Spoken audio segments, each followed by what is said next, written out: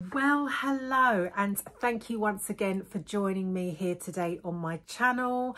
I hope you are all doing really, really well. It's annoying that the weather has changed and it's a bit dark and dingy now, but what can you do? Onwards and upwards, as they say. Now, if it's your first time on my channel, Hello, welcome. My name is Ange, aka 50 Scents UK. And to all my returning viewers, thank you so much. And of course, as always, sending you lots and lots of love. Now, as you can tell by the title of this video, this is part two of my empties. Now, I've been through so much perfume, like I would say in the last six months, I have made a conscious effort to use my perfumes, like literally use and abuse. And that's exactly what I've been doing. And this video is going to show you a bit more of just how much I've used. If you want to see part one, I'll link it down below. And yeah, let's stop the chit chat and let's get into it. Now, as I always say, perfume is meant to be used and I don't believe in keeping any perfumes for special occasions. I wear whatever perfume I want, no matter how much it costs, and I spray myself as much as I want. I never limit myself because I think, well, you've already bought it, so you might as well use it and you might as well enjoy it. What is the point of leaving your perfume on your vanity or in your cupboard or wherever you store them and just looking at them. That makes no sense to me. So yeah, I am a very liberal user of all my perfumes. And as I said, this video is a testament to that. I'm not going to talk too long about each perfume, but I'm going to tell you if I liked it and whether I would repurchase it again. So the very first one I've used up is this one and this is Angel by Mugler. I'm sure most of you are familiar with this one and there goes a plane. So this is a gorgeous gourmand patchouli chocolatey musky fragrance loved it this is probably one of the first ever like real perfumes I got into. This used to be my signature scent back in the day. I used to literally reek of Angel every single day. This is when I only ever owned like one perfume at a time and I would just go through bottles and bottles of this. I don't use it as much these days. This one has taken me a bit of a while to get through, but I did get through it. Definitely would repurchase it again. However, I don't know how long it would take me to use a whole bottle of it in the future. Next one I've used up is this one. This is Jo Malone's Wood, Sage and Sea Salt. Now, this one, this is a bit of a nondescript perfume for me. It's so very light and there's not a lot going on in it. It's just a fresh, sort of clean scent. If you want to smell like you just come out the shower and not much else, then yeah, get this one. But this is not something that I personally would repurchase. A, the performance is not good on it. It doesn't have a lot of projection. It's quite a weak perfume. I can understand people liking it, but it's kind of not my vibe. So I would not repurchase that one. Right, this next one surprised me. This one was given to me and it's by Bespoke London and it's called Spiced Pear and Warm Amber. And this is an exact dupe of La Belle by Jean Paul Gaultier.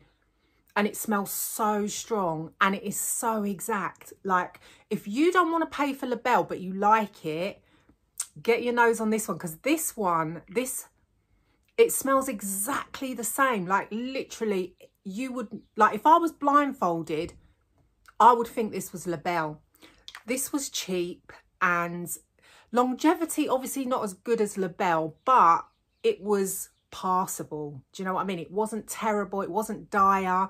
So if you want to look for something that's La Belle-esque but half the cost or even less than half the cost. I'm not sure how much these go for, but I don't think it's very expensive at all.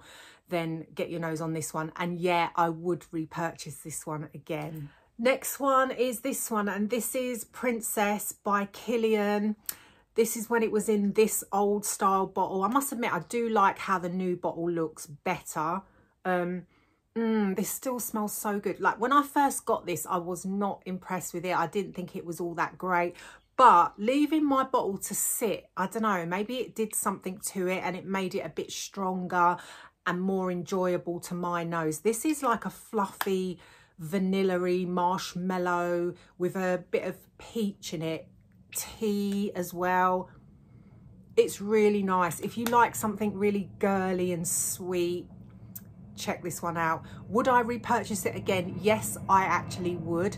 If you'd asked me that maybe six months ago, I might have said no, but I've grown to love this one. Next up, we have this one, and this is Joyful by Kate Spade. Now, somebody gave me this perfume. I did not buy this myself.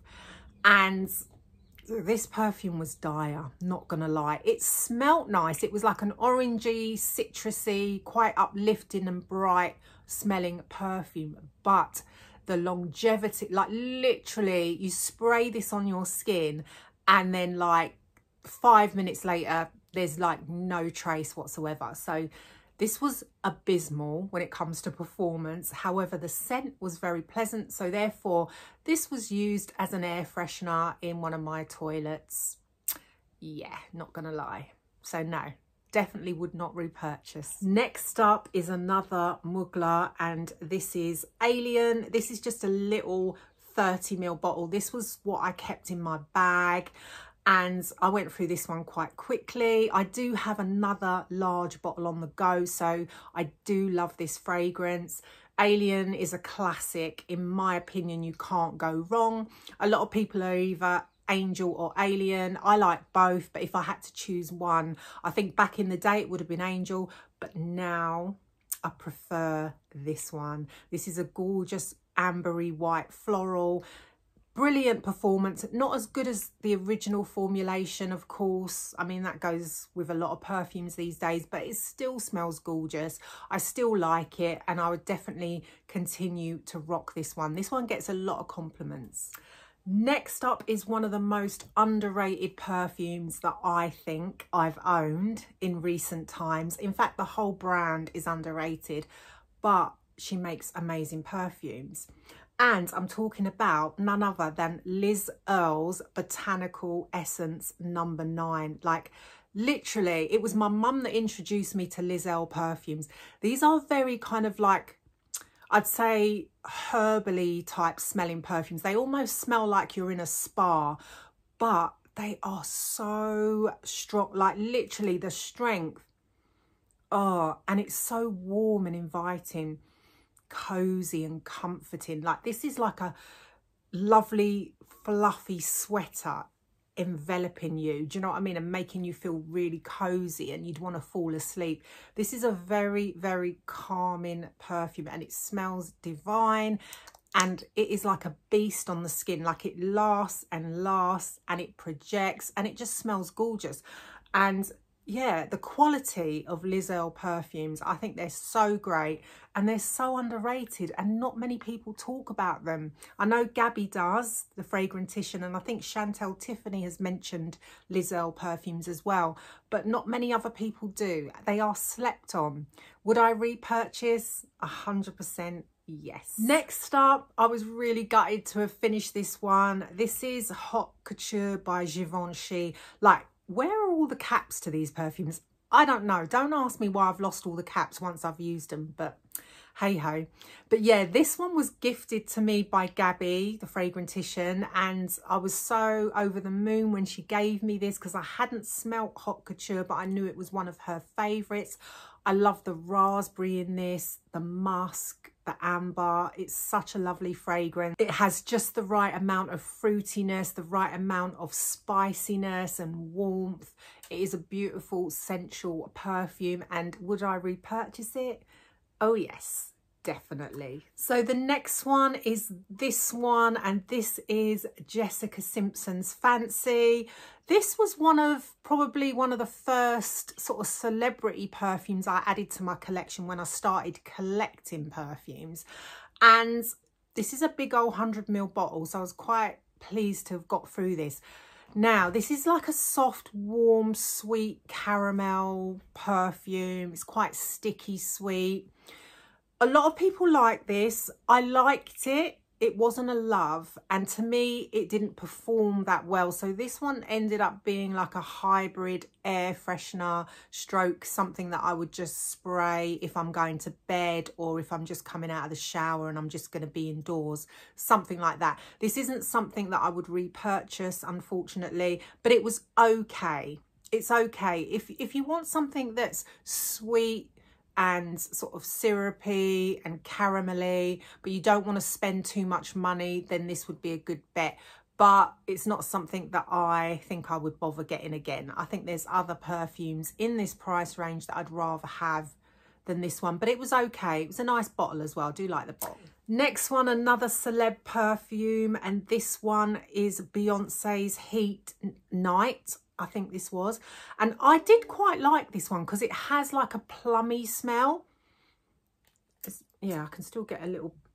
Mm, it's quite nice, but the performance was not good. Not good at all. I'd much rather have Britney Spears Midnight Fantasy than this. But I think these those two scents are a little bit similar. Yeah, but this one, this is quite fruity and juicy and nice but it lacks in the performance. So I probably wouldn't repurchase this one. Sorry, Beyonce. I'd repurchase your music, but not your perfume. Okay, on to the next one, which is another celebrity perfume. And it is this one, and this is Sarah Jessica Parker's Lovely. Now, I do really like this perfume. This is a very pleasant, fresh, clean, uplifting scent. It has a bit of citrusiness in the top of it, in the opening. Although it's not an overly citrus perfume, it's more of a musky floral, but it's very pleasant. I don't see anyone disliking this. I know there are people who obviously do dislike it, but I would say this is quite a crowd pleasing perfume and it does get compliments funnily enough and performance is not bad i think this is one of the really sort of well worth your money celebrity perfumes because I think you get a big old bottle for not too much money and it actually does what it's meant to do you know? It, it smells decent. What can I say? I like it and I would repurchase it again. And I yeah I've enjoyed wearing it to be fair. Next one you guessed it another celebrity perfume. Like what's going on Andrew how comes I'm using all the celebrity ones I think because I'm so, so liberal with these ones. Um, so this is Live Luxe by J-Lo. And this is all right, you know. This is like a kind of like, to me, this smells very much watermelony. Yeah, very melon-esque. Is that a word even? But anyway, yeah, it's fruity. It's quite clean smelling, quite fresh smelling. It's floral with a bit of musk and a hint of vanilla yeah, I quite enjoyed it. However, I don't think it performed that well. It didn't last that well, but it's all right. It's all right for something that you throw in your gym bag, for example, after you've worked out and you just want to smell a bit, you know, fresh afterwards. You could put this on or even before you go in the gym or just for, you know, every day or chilling at home. It's all right. It's quite a nice, fruity, fresh floral. That's how I would describe it. Would I repurchase it? Probably not, if I'm being honest. If someone gave it to me, I wouldn't throw it back in their face, put it that way. I mean, I wouldn't throw anything back in anyone's face, to be fair. But you know what I'm saying. I wouldn't repurchase it again, but if I was given it, I would use it. Um, I would keep it and happily use it. But it's not something that I'm itching for, if that makes sense. It's not the kind of scent that I gravitate towards necessarily. But it's not a bad perfume. Last but definitely not least is this beauty and this is of course Idole by Lancome. I mean I love the bottle. I'm sad that you're gone but yes I will definitely 100% repurchase Idole. This is just this is just the original Idole. Obviously, we all know there are a ton of flankers. Well, not a ton, but a few flankers. And I love all of those as well. And I do own all of them. Um, the original, I will always go back to. I love it. It's a beautiful, rosy, musky perfume with a bit of vanilla in it It's a beautiful, classic, feminine scent that really does get me a ton of compliments. As with most Lancome perfumes, it lasts. The performance is fantastic on it. It's just very elegant. I see it as very sophisticated. This would be an amazing bridal scent, in my opinion. I wear this all year round, but I think particularly in the spring, I gravitate towards this one. But yeah, I will definitely repurchase Idole. I love all of the Idole line and I think it's a great quality perfume. So if you're in the market for something florally, a bit sweet, musky with a hint of vanilla in it, look no further beautiful modern day rose perfume. So unfortunately we've reached the end of the video. If you are still with me thank you so much for hanging on in here with me. I know it was a bit of a long one and I probably rambled a little bit, but you know me, I love a chat. Please subscribe if you haven't already. Hit the like button, hit the notification bell, all of that good stuff. And I hope you'll join me again in the next one. Bye for now.